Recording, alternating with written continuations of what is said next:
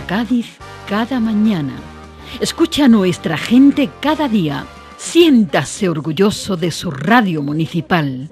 Onda Cádiz Radio 92.8. Mi corazón está haciendo bombón. Hay que ver qué alegría y qué buen humor con Manoli Lemos, gente de Cádiz.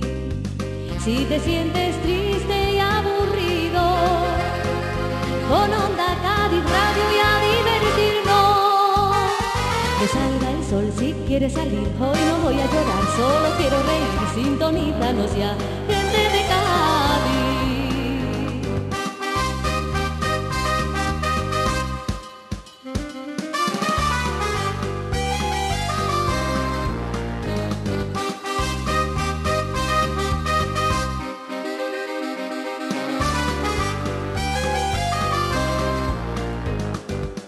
Si te sientes triste y aburrido, pon onda Cádiz Radio y a divertirnos.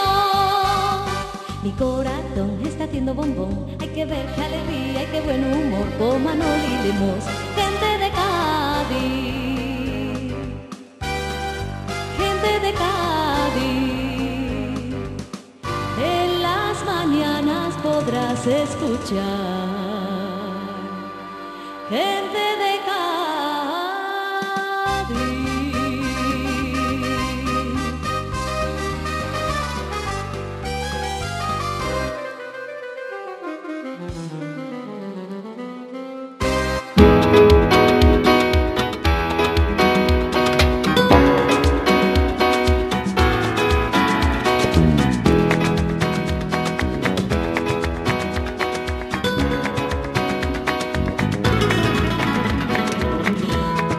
11 de la mañana, 6 minutos. Comenzamos a partir de este momento. Sean todos bienvenidos. Comenzamos Gente de Cádiz desde su emisora.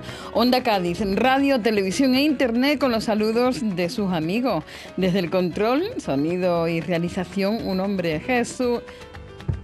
¿Qué voy a decir? Hoy el viernes mal empezamos.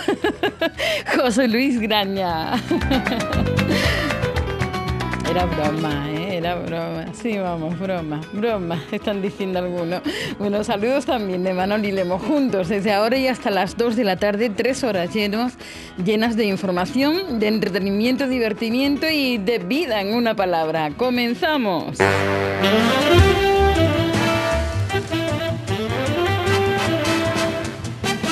Viernes 5 de octubre de 2012. Ve, es que era viernes. Es que era viernes, eso es lo que ocurría.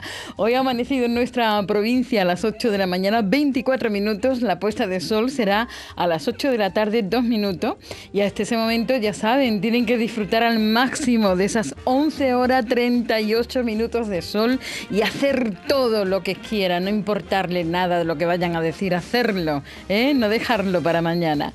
El ocaso lunar va a tener lugar dentro de algunos minutos, cuando sea la una del mediodía, 13 minutos a 296 grados noroeste y volverá a salir por el nordeste 64 grados esta noche, cuando sea las 11 y 22 minutos. Se encuentra próxima a la fase de luna mm, de cuarto menguante y va a estar visible 13 horas 51 minutos. Y están ocurriendo muchísimas cosas en nuestra capital. A las 10 de la mañana en el edificio de los sindicatos de Cádiz, los secretarios generales de UGT y Comisiones Obreras, Salvador Mera y Manuel Ruiz, han informado sobre la movilización prevista en Cádiz contra los presupuestos generales del Estado de 2013 y los nuevos recortes anunciados por el Gobierno. Y está teniendo lugar en este preciso momento, a las 11 de la mañana, en el Salón de Plenos de la Zona Franca de Cádiz. El delegado del Estado en la Zona Franca, Jorge Ramos, recibe a representantes de la ciudad marroquí de Kenitra.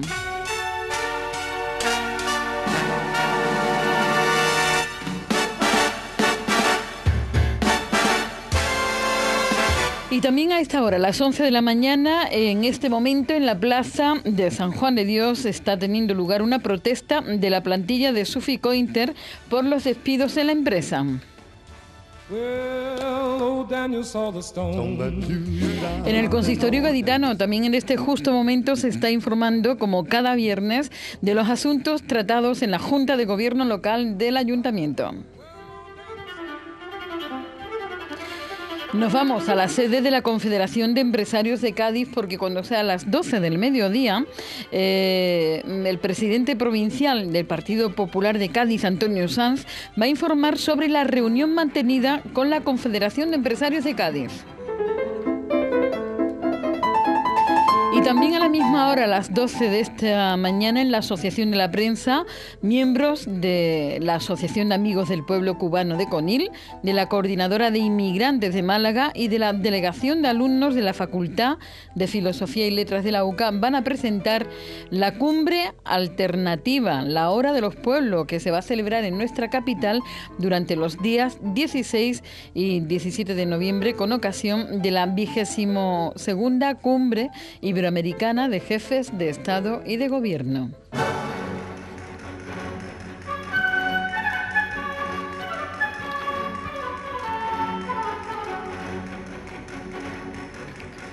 Y el Partido Popular de Cádiz ha celebrado su primer comité de dirección tras la elección de Antonio Sanz como nuevo presidente provincial de los populares en Cádiz, donde ha anunciado la puesta en marcha a corto plazo del servicio de atención al ciudadano y un equipo de respuesta inmediata con el objetivo de atender las peticiones de los gaditanos en un plazo de 24 horas. En el comité, donde han estado presentes el vicepresidente del Partido Popular de Cádiz, José Loaiza, y el secretario general, Antonio Saldaña, entre otros dirigentes, Sanz ha incidido, ha incidido perdón, en el trabajo con los colectivos y con las asociaciones gaditanas como uno de los ejes principales del trabajo del partido.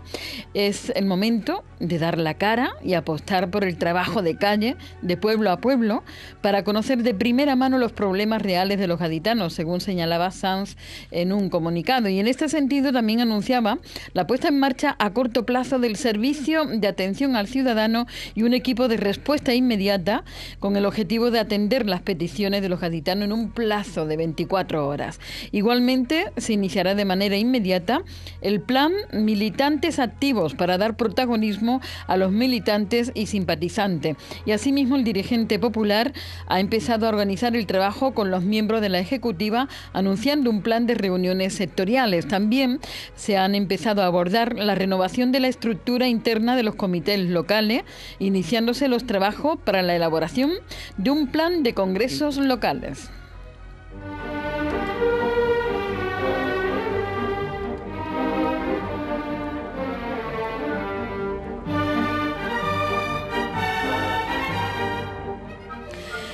Ecuador celebra en Cádiz desde hoy, desde este día 5 y hasta el próximo 11 de este mes de octubre, su mejor oferta cultural con un ciclo de actividades programadas centradas en cine, música, danza y jazz, así como una selección de obras del pintor ecuatoriano Oswaldo Guayasamín.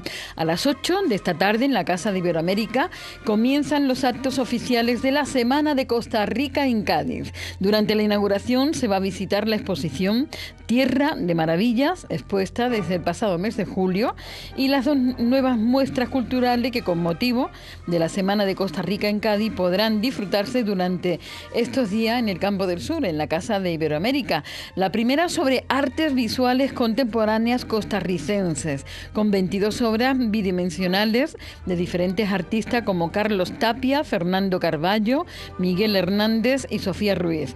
La segunda de Vasallos a Ciudadanos, muestra documental comisariada por el Archivo Nacional de Costa Rica, en la que se hace un recorrido por la historia y el contexto en el que se creó la Constitución de Cádiz y por la vida y obra del diputado doceañista Florencio del Castillo.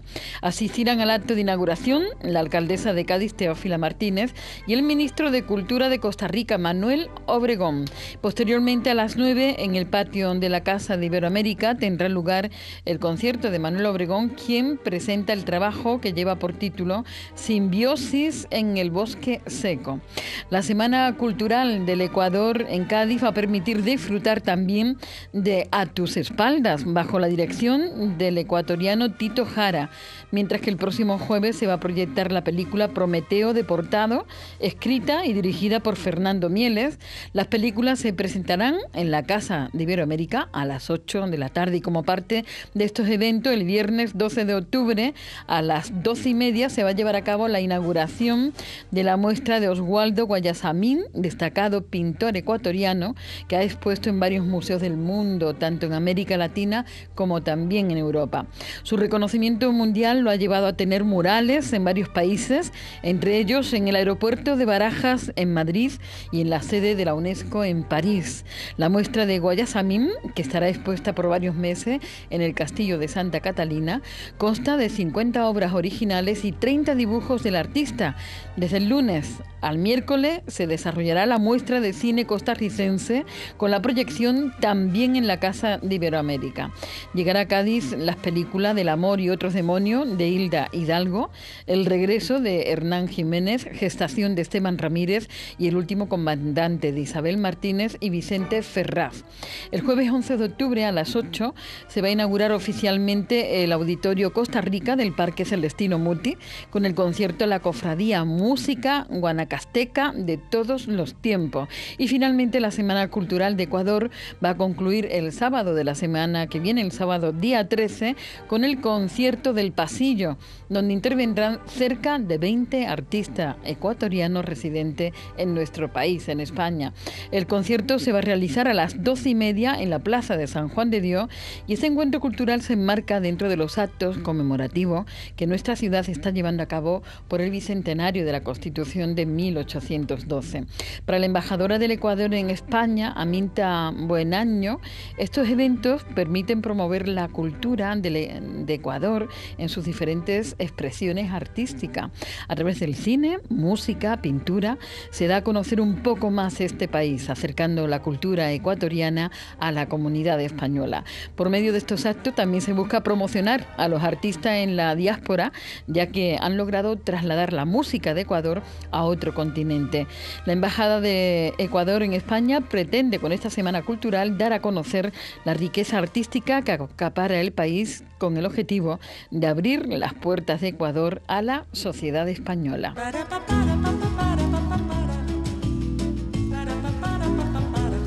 Y la concejal delegada de Juventud del Ayuntamiento de Cádiz, Carmen Sánchez, anuncia que hoy, este viernes 5 de octubre, comienza una actividad de prevención de drogas que organiza la Delegación de Juventud del Área de Familia junto a la Asociación Juvenil Alendoy. Se trata de una actividad preventiva más que se encuentra dentro del programa Cádiz Alternativo, que en parte está subvencionado por el Plan Nacional sobre Drogas y que viene a completar otras que se realizaron en los meses de enero a mayo en 10 institutos de nuestra ciudad y que consistieron en una serie de talleres preventivos que denominaron Enróllate y que se impartieron a alumnos y alumnas de entre 13 y 15 años. La responsable de juventud declara que en este caso los monitores y las monitoras salen a la calle, a la zona donde se realizan los botellones. La actividad consiste en ofrecer un punto de información, prevención y asesoramiento a jóvenes sobre los riesgos derivados del consumo de alcohol o de las sustancias estupefacientes en espacio de ocio juvenil. Este punto de información y asesoramiento se instalará en la zona de ocio de la Punta de San Felipe y será además el lugar donde se va a realizar una serie de actividades con una novedosa metodología en la que jóvenes de la ciudad analizarán su nivel de alcoholemia, así como experimentarán sin riesgo los efectos derivados del consumo del alcohol y otras sustancias.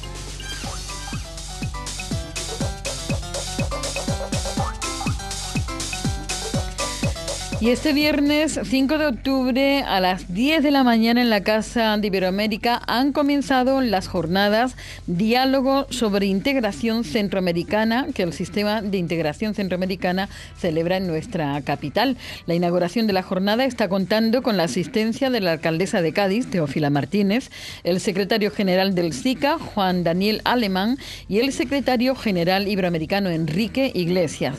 El Sistema de la Integración Centroamericana SICA, es un organismo regional creado por los estados de Belice, Costa Rica, El Salvador, Guatemala, Honduras, Nicaragua y Panamá.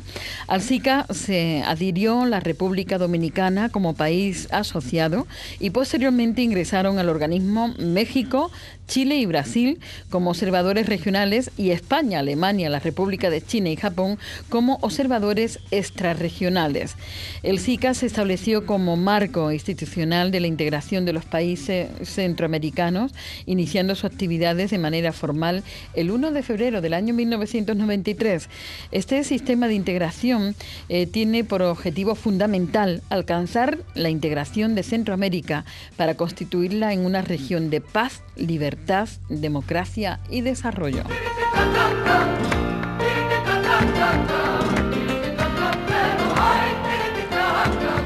11 y 20 minutos de la mañana. Seguimos por esta mañana de viernes. Viernes y aquí el fin de semana y ese día grande para todos los gaditanos y para muchísimos puntos, muchísimos pueblos hermosos de nuestra provincia que tienen por patrona a la Virgen del Rosario, al igual que la capital. Y bueno, también un fin de semana intenso porque eh, comienza el Salón del Manga. La concejala de Juventud, Carmen Sánchez, presentaba ayer precisamente la octava edición del Salón del Manga, acompañada del director de la Asociación Raice, Pepe Torrejón, y el nuevo director del Colegio San Felipe Neri, Victoriano Viñuelas. La Asociación Raice, junto con el Ayuntamiento, organiza un año más este particular evento que reúne a muchos seguidores de esta saga de animación. El mundo del manga y la cultura japonesa vuelven a tener un espacio propio, siendo de nuevo un punto de encuentro de la juventud. ¿Y el objetivo de este encuentro cuál es? Bueno, pues en palabra de la concejala de Carmen Sánchez, es servir de lugar de ocio, de cultura y donde lo lúdico predomine sobre lo comercial. Con más de 40.000 visitas en los últimos años, el Salón del Manga se ha convertido en todo un clásico entre la juventud amante de este tipo de cultura que fomenta la lectura, el cine, juegos de mesa y el intercambio. En esta edición hay algunas novedades tales como la colaboración de diversas asociaciones, Mueve Ficha, Proyecto Ludus o Milenaria.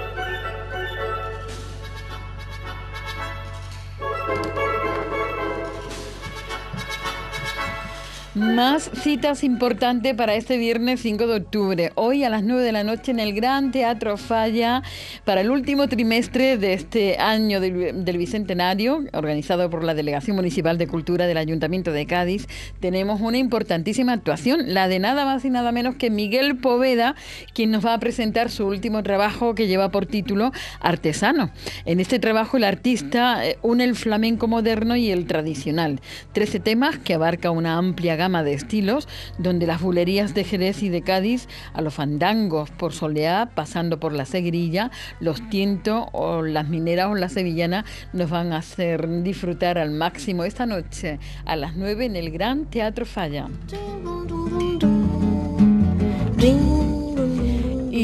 También esta noche, a las 9 también, en el templete, no es mal lugar, ¿eh? incomparable, en el templete del Parque Genové se celebra el sexto concierto dentro del ciclo que se está celebrando en este espacio de nuestra ciudad. En esta ocasión va a actuar Candray dentro del género rock and blues.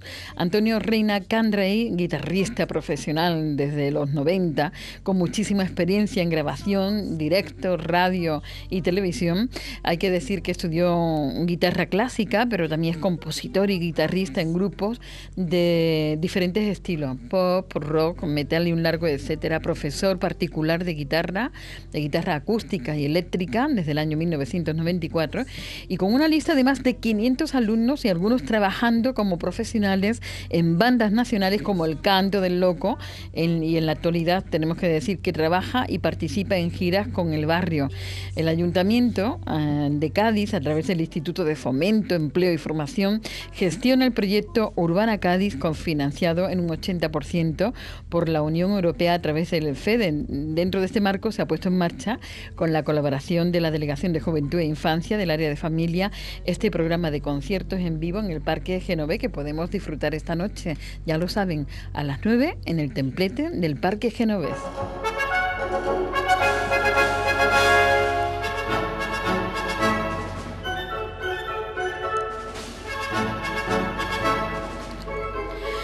También hoy en el, en el Café Teatro Pai Pai tenemos a Fede Comín con sones de acá y de allá a las 11 de la noche. Decimos, vamos a recordar que la entrada cuesta 5 euros. Flamenco y flamenco del bueno, tanto en la Peña La Perla de Cádiz como en la de Juanito Villar. En la Perla, cante y baile flamenco con el de Pili Villar, la jineta, Lucía Ruibal al baile, Jaime de la Isla al toque y Edu Gómez y Naín Real a las palmas y percusión. La entrada es libre hasta completar el aforo y es a partir de las 10 de la noche. También en la Peña Juanito Villar tenemos flamenco. Hoy al cante Adelin, la mojarrita, y al toque el niño de la Lea. Comienza a las diez y media de la noche.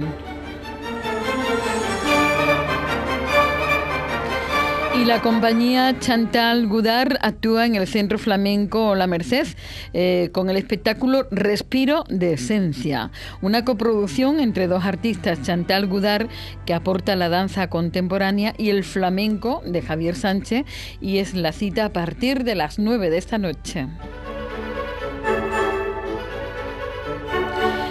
Y tenemos flamenco rock andaluz en el, en el Pelícano Music Café, Jimmy Loy, a partir de las 11. Eh, Jimmy Loy es el nuevo proyecto de Carlos Tato, bajista del Bicho. Esta banda de fusión la integran Carmen Martín, Luis Van de Weber y Rafa González. La cita esta noche a las 11 en el Pelícano Music Café.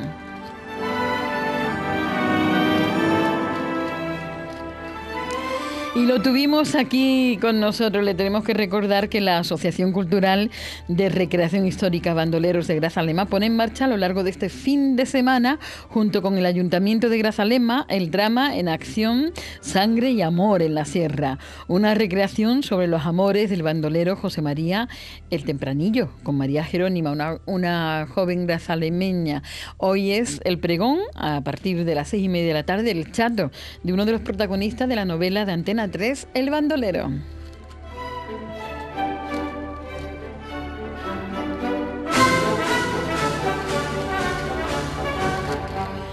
Y otra cita en la provincia, Chiclana celebra la Feria del Vino y de la Tapa. Acoge durante todo este fin de semana esta feria, además de la oferta gastronómica. La programación de la jornada eh, de hoy incluye la actuación del cantador José Manuel González a las tres y media de la tarde, del cuadro flamenco de Javier Sánchez a las 5 y del grupo flamenco Pop Rock Sin Llave, 22 horas a las 10 de la noche. Y en la caseta central hay también disponible una ludoteca infantil de 8 a 12 de la noche.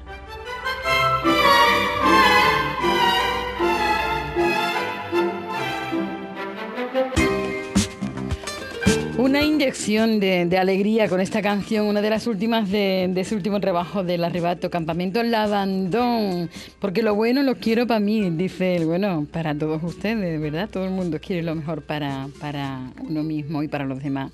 Bueno, pues felicidades, un día más le felicito porque ha recibido el regalo y nosotros nos sentimos muy felices por ese motivo, porque está vivo, está compartiendo y sintiendo la vida y nosotros nos alegramos muchísimo. Gracias por compartirla cada mañana con nosotros. Y también felicidades a esas otras personas que están celebrando José Luis. ¿El qué? Eso. El día de su santo. Por ejemplo, hoy 5 de octubre tenemos que felicitar a Froilán, Apolinar, Astiero, Atilano, Aurea, Garitina, Divisiano, Donato, Eutiquio, Firmato, Flaviana, Gala, Marcelino, Mauro, Palmacio, Plácido y Victorino. Felicidades.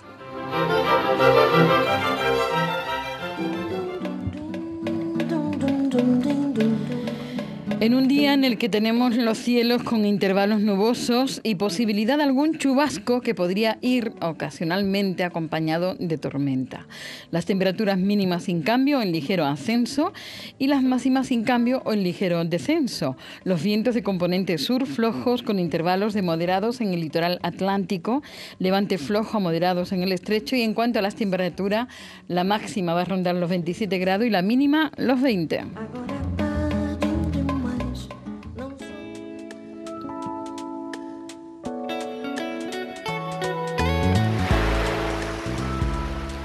Y en cuanto al horario de las mareas, presten atención porque la pleamar será a las 4 de la tarde, 28 minutos con el coeficiente 54.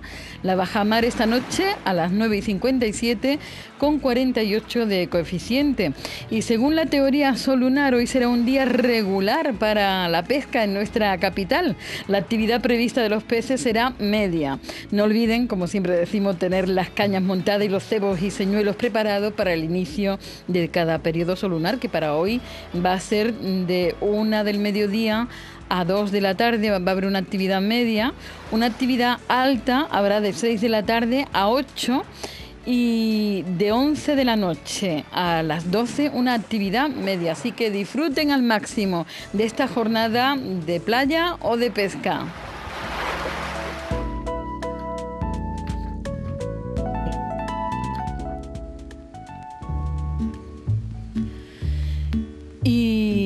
Muchísima suerte. Ojalá que hoy le demos una alegría a alguien que lo esté pasando un poco regular económicamente hablando. Y ayer ojalá que comprara ese cupón y hoy le demos una buena noticia. El número premiado anoche en la 11 fue el 18.757, 18757. Y en, eh, en la primitiva, la combinación ganadora fue para los números 5, 6, 7, 27, 43 y 47. Complementario para el 9 y reintegro para el 0 si yo fuera rico